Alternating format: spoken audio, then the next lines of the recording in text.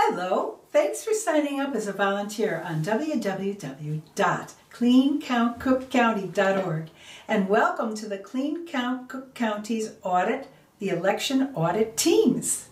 For the Chicago Board of Elections, citizen election auditors will go to the Chicago Board of Elections warehouse at 1869 West Pershing Road. That's at Pershing and Wolcott. The audits will begin on Wednesday, March 28th, and volunteers should be in front of the building at 8.30 a.m.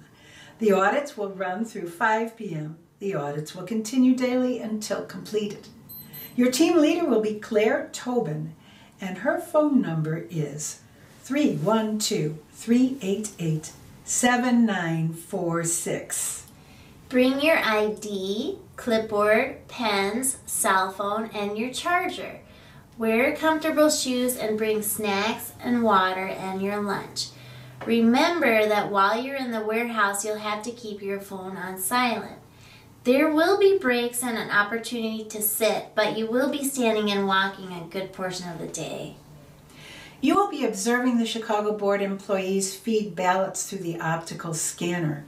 And at the end, we want you to obtain a copy of the results tape or take a picture of the results tape.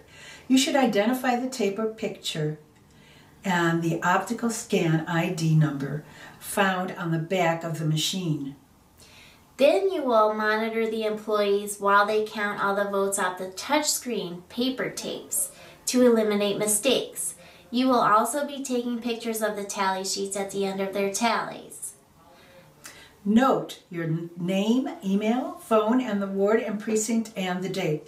Your team leader will tell you how to send us this data. Thanks, for volunteering with us to make sure our elections are accurate. Clean Count, Cook County.